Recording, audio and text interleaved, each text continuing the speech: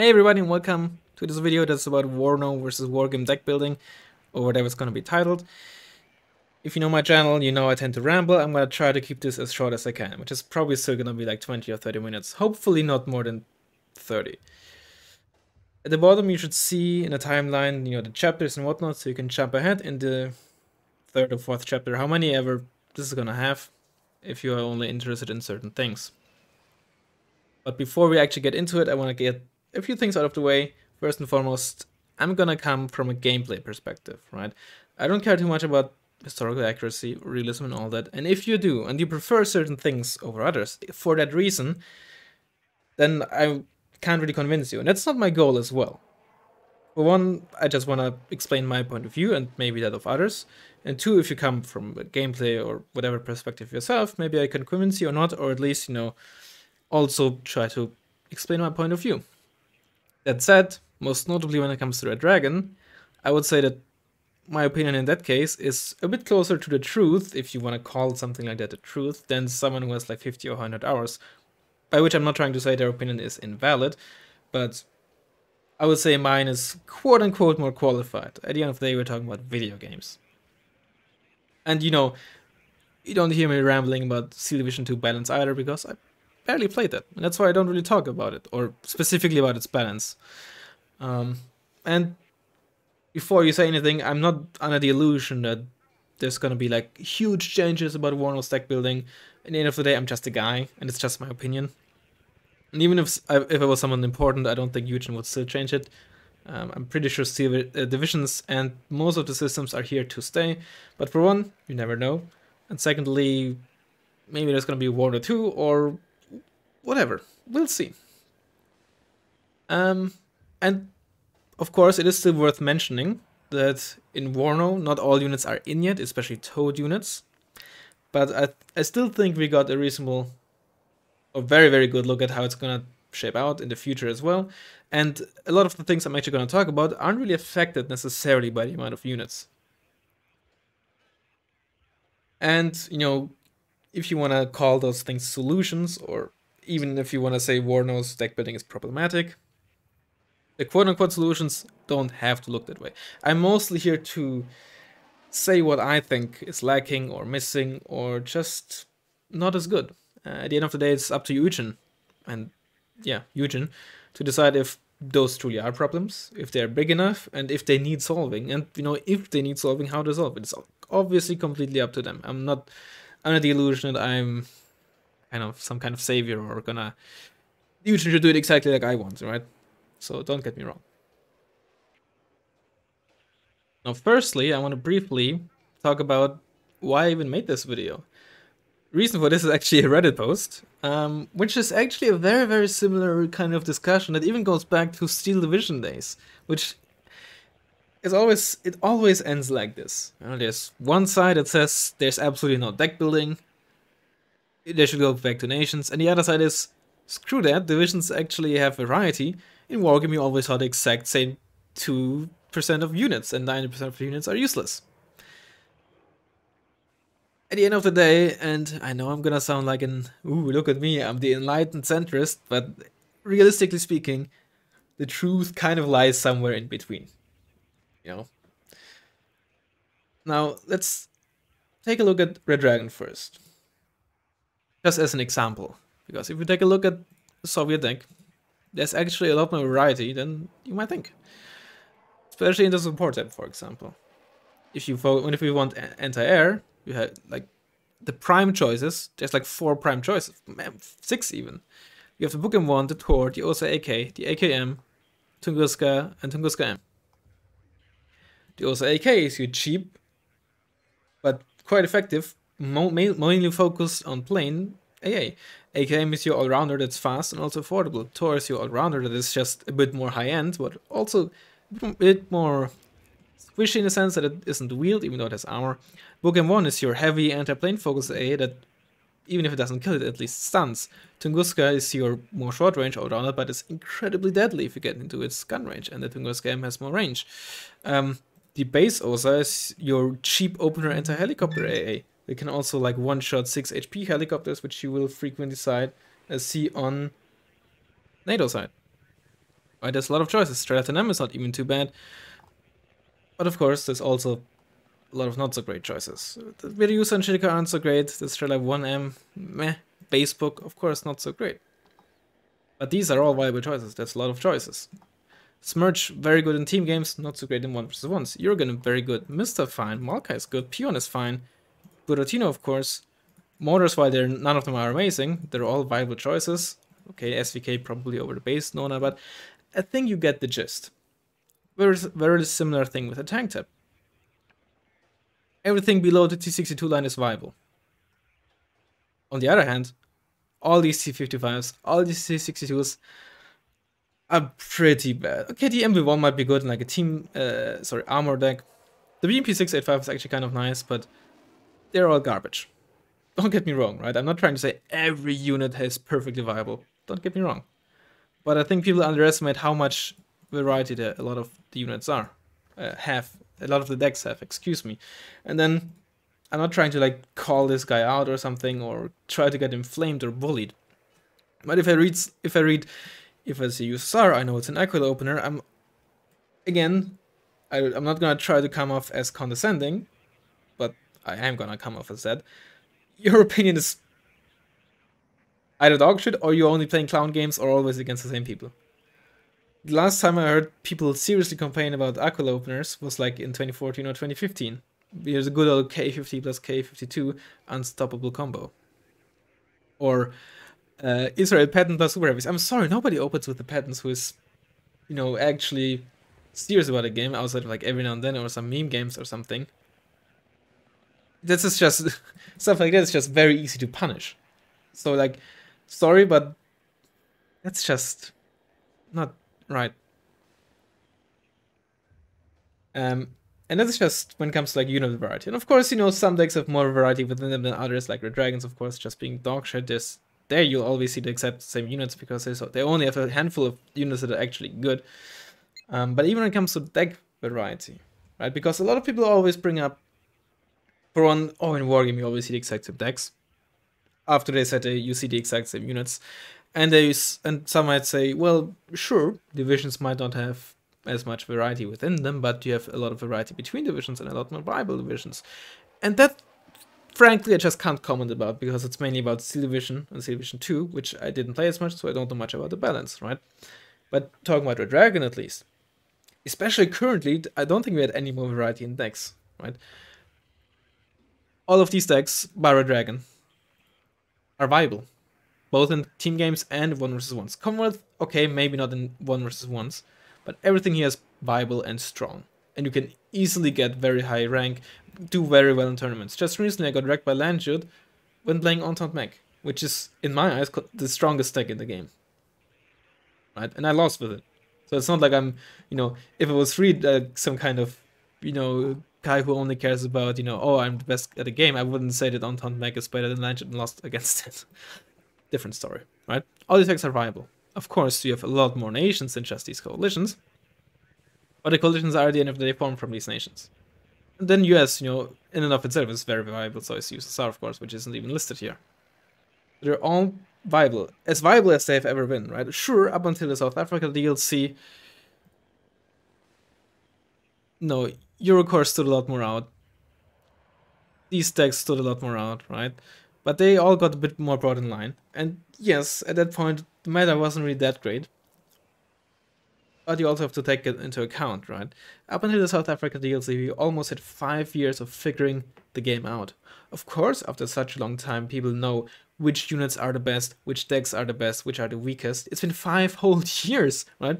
Up until like two years ago, or even one and a half years or something ago, I would laugh at people if they said they would take Baltic Front Moto over Baltic Front Unspec. And then General Boulanger comes ahead, uh, goes ahead. While I'm not saying he's the first one to use it, don't get me wrong, but he clearly popularized it by just bullying people in ranked, including me, with it. I'm like, god damn, this deck is a lot stronger than I thought. So even after all those years, while uh, there were probably people, there definitely were people who realized how strong it is, and I knew it was strong, but I always th thought Baltic un Unspec was stronger. There's still some changes here and there. Even though everyone or a lot of people thought we figured the game out. Um, it took people over half a year to really realize how strong Eurocorps was, because all those buffs it got came with Israel DLC really when the IFV rebalance came, making the AMX 10 OP. And the Tiger had been unchanged for basically years, and only then people realized how absolutely broken the stealth on it was. And when I say people, of course, I mean like on a, let's say, whole player based thing, right? As always, there were individuals who realized it earlier than others, but it always sometimes takes a while until the majority of the player base or, or it really comes into the meta. Um, even when and then even when going back to 2016 around the Dutch DLC, the meta was actually quite balanced, reasonably balanced. It wasn't amazing, um, sometimes people say it was only Commonwealth and Eastern Bloc, but I'm like dead certain that if that meta got more time than just a few months until Israel released, it would have shaped out a lot more varied than a lot of people think.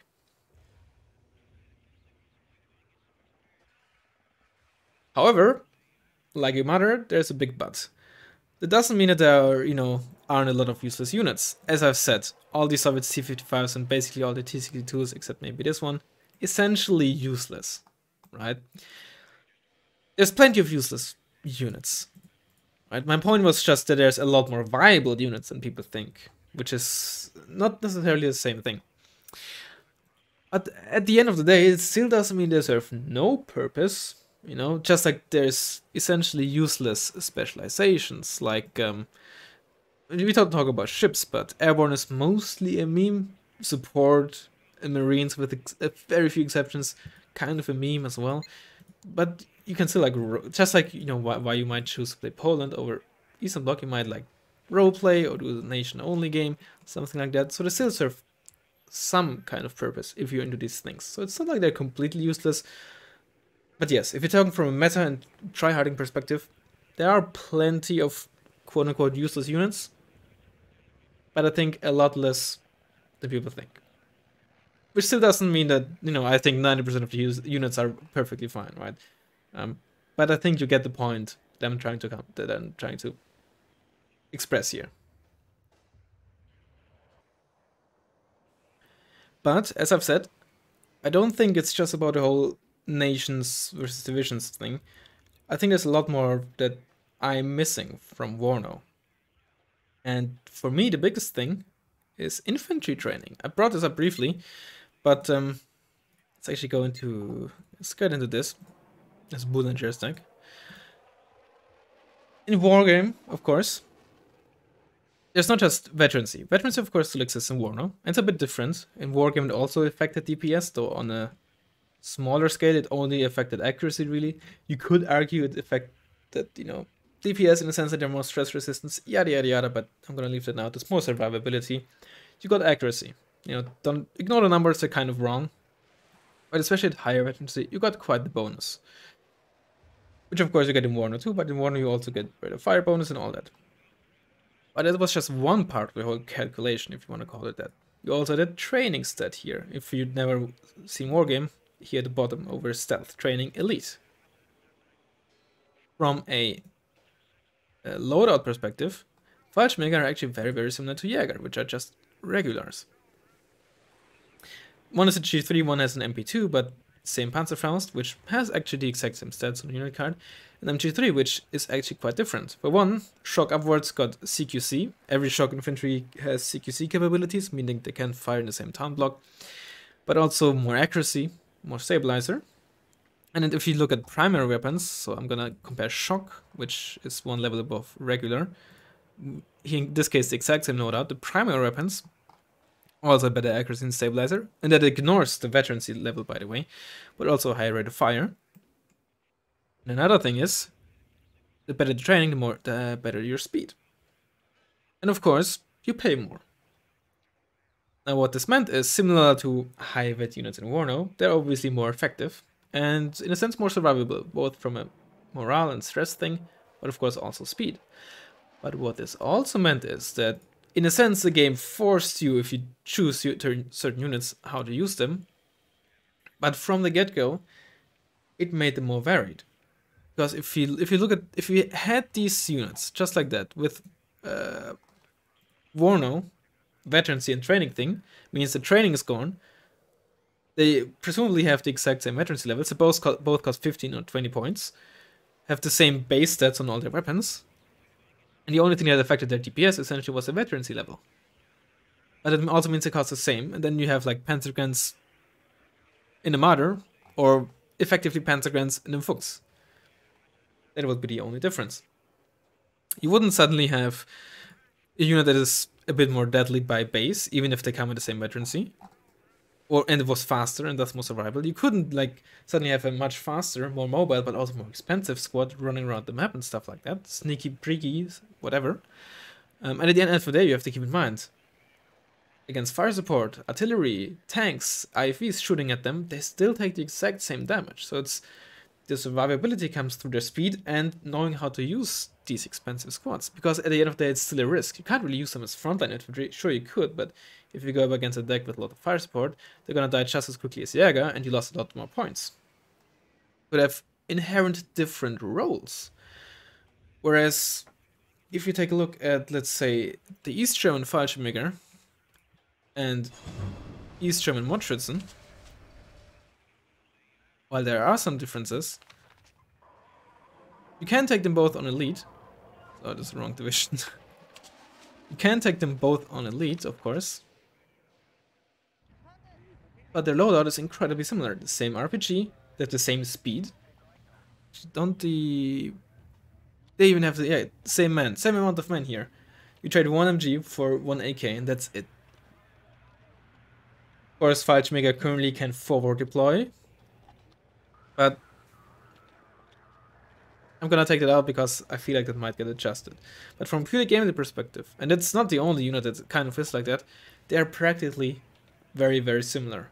Mordschützen are basically even stronger because MGs are better than uh, assault rifles, and you pay 10 points for that. Point balance, whatever, that's a whole different story. But I think you get a point. In Wargame, if you had the same, let's say, loadout, the Fallschirmjäger would have more accuracy base, ignoring veterancy on the primary, more high rate of fire, more accuracy on their MG, be faster and be more expensive, even if they have the exact same loadout. Thus, a Fallschirmjäger would already have a different role because for frontline, where you meet a lot of fire support, not as efficient, but you can use them a lot better for sneaking around, right? The Mordschützen would be your all-rounders, and if you had line infantry version of them, you wouldn't really use them for sneaking because they're way too slow and way too easily stunned and all that. And on their own, just not nearly as strong to deal with, you know, single units that might be defending the flanks and such. You just don't have that here.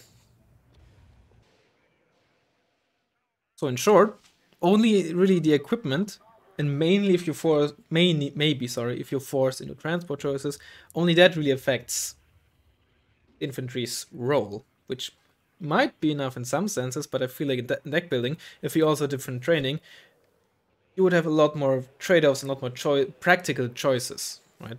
Another example is if you look at the Panzer I think this kind of egregious even but I don't want to like be too whiny here let's just delete this so we can yeah Look at Pan Pioneer Armbrust, Panzergrens in the M113, and Jäger. They all have one MG3. Of course, every other German squad also has one MG3 if they have MGs. And, you know, respective to the HP number, the amount of G3s, primary weapons. So 8 G3s, 9 and 10.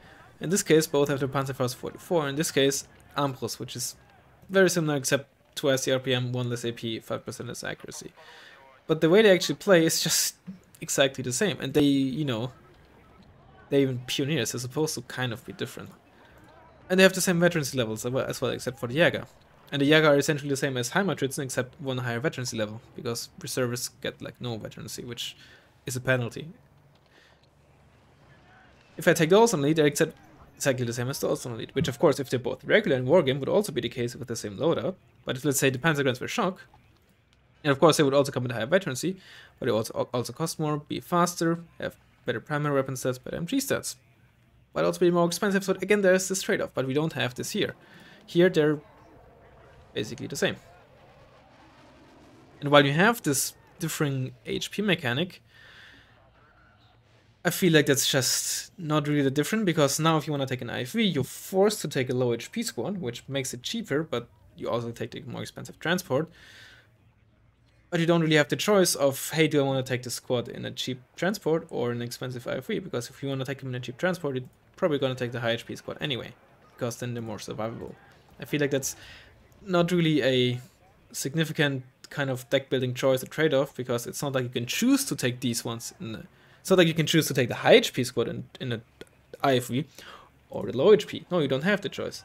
If you want an IFV, you take low HP squad of the same squad that you already have in high HP. If you even have the choice in the first place. So I feel like that's not really suddenly a new mechanic. What we have is, of course, leader buffs, but again, while this mechanic, first of all, I don't like it. I don't think it's particularly impactful from a gameplay perspective, but of not to be ignored, don't get me wrong. But I think it even less affects your deck building thing. I think it might affect like, hey, I'm gonna take my tanks at low veterancy and then plan on buffing them to the higher veterancy level with the leader round. And it's basically all it affects in terms of deck building, in my eyes. Now, that was the whole infantry and training and whatnot thing. The other thing that I'm missing is old equipment. We kind of have that in Warno, in a sense, with like Panzer Division, where you have, let's make actually go into the armory.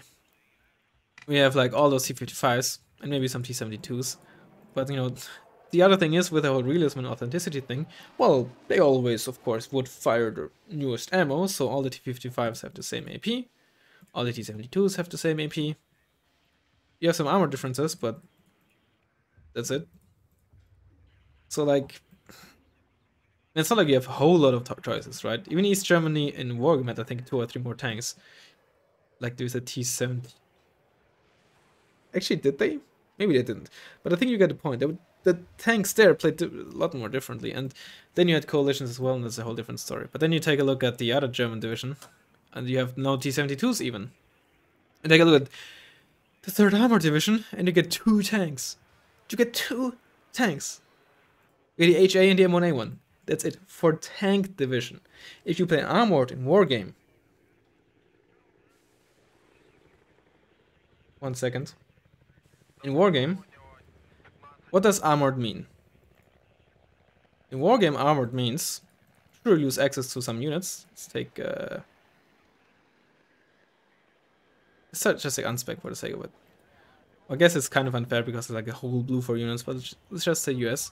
It means sure, you lose some units, you don't get Patriot, you don't get your Delta Force, you don't really get any wheel transports, you get your Marines. But suddenly what it means, you don't actually get that many more heavy tanks, sure you can fit, fit more in, but it suddenly means, hey, of course, they come with high veterancy, it affects your veterancy, which it doesn't really, at least yet in Warno, maybe they're gonna adjust it. You get more, which means you more cards, which means you could take more in high veterancy. But it also means, hey, your low tier tanks, maybe your US M M48, is a lot more viable. Hey, you get this on elite suddenly, it's now a much, much better choice. US, you don't really notice it all too much, but, you know, stuff like Centurions, lower tier Leopards, these M48s, suddenly offloaders become a lot more, uh, a lot bigger threat because the accuracy bonus has been like made up for, right? Tanks are a lot more sturdy, stuff like that, right? You get, you make up for your lack of, for your weaker infantry, your slots, or lack of something else by having more choices in terms of tanks. You really play different gameplay, whereas in Warno, I feel like Third Armored plays like a mech deck with only expensive tanks. And you have the choice of lower veterancy, a uh, low tier stuff, right? And the same goes with infantry in Wargame. You have the choice between Motostrelki, which get a low tier RPG 7, and Motostrelki 90, which get an RPG 7 VR. I would really like to see this in Warno as well. Why not? I mean, I know the answer why, but it's a rhetorical question. Why not give us Motostrelki and like Motostrelki 75, which carry an RPG 7? And the reasoning for this, I don't know. Well, they had old RPG rounds for practice purposes or something like that, and in case of war, we might as well use them. I don't know, make something up like that. Surely there's like a somewhat kind of reasonable explanation. Even if you don't want to get give the third armor a a uh, M1 IP or base M1 because we never fielded it, although there's probably still stretches. Or let's say M60s or even M48s. Why not say, hey, they had old rounds to practice with, let's give them another two or three HA Abrams cards or M1A1 Abrams cards with lower tier ammo, older ammo, right? It's the same ammo as an L44, so surely there's some older ammo available as well somehow there. after all, they're stationed in Germany and it's a German gun. If there's their ammo available for it, surely they could have an M1A1 with like 15 AP or something. Why not? Make something like that up. There is, there are, from my, not even amateur perspective, ways to reasonably explain stuff like that. Just don't have to. You literally two tanks available in third armor, an armor deck. Come on.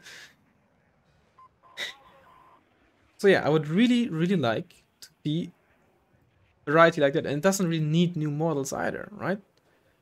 And it, you know, allows a lot more trade-offs in terms of do I want low tier infantry for like spam or something, or high tier infantry for like high tech that you know one or double types tanks is much bigger threat in that sense. That's what I'm missing, and it, it kind of goes back to like the whole variety thing, but I think like that's different than choosing from variety through a whole na whole nation's arsenal. The other thing that I'm missing is, of course, the fact that infantry weapons should be less standardized. But I think they are planning to differentiate them a bit more. I think they all wanted to have like a somewhat level playing field and then work upwards. Because right now AK-74s, M16s, and G3s have the exact same rate of fire stats. The only thing that's different is, is the G3, for no good reason, honestly, has more damage more accuracy. It's a, basically an objectively better assault rifle than compared to the M16. All you do is lose a bit of stabilizer, but you get like almost one third extra accuracy and uh, of course one tenth higher HE, which is really stupid in my eyes.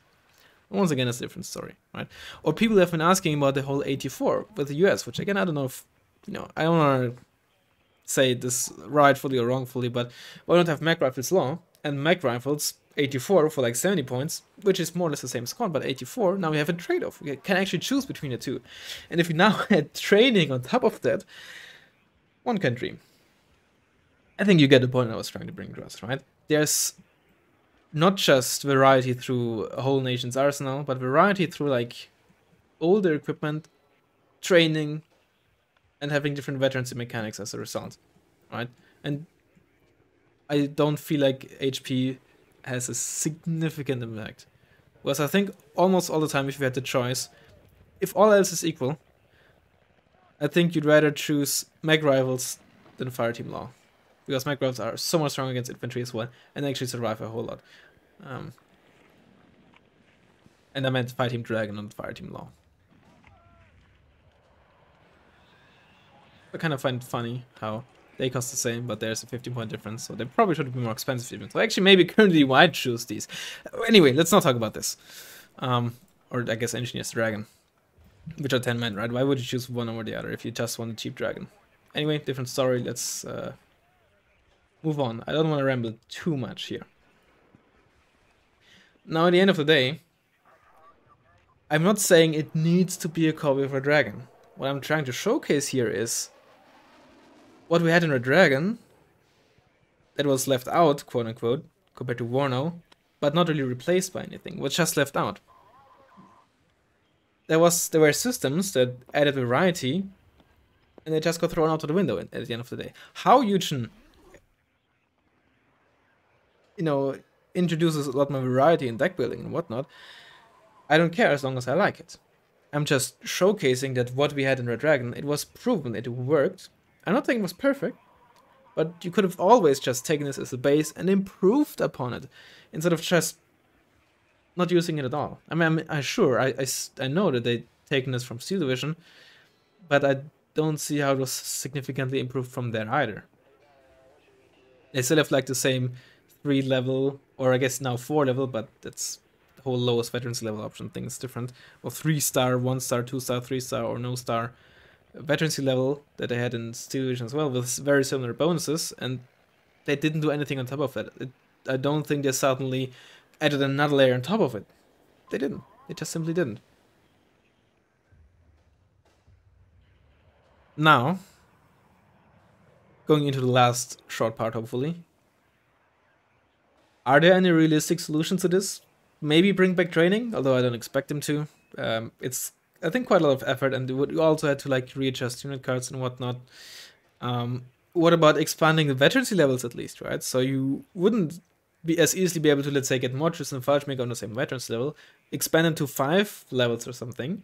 So you can't easily so elite squads are actually elite and you know Mortis and squads you can't get on elite. Um, although the people some people I know don't really like that.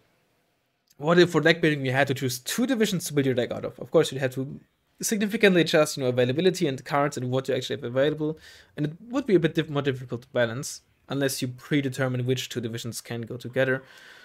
But that could be a way. Again, I don't expect it, but you know. What if, and that has been brought up many times, and I'm definitely not the first one to bring this up. What if you got detachments from other divisions, right? So you kind of have like a tag for units, similar to the prototype tag, where if you choose a detachment from another division, you get access to their units as well, minus their prototypes, for example, or a certain number or a certain package of units. I don't know.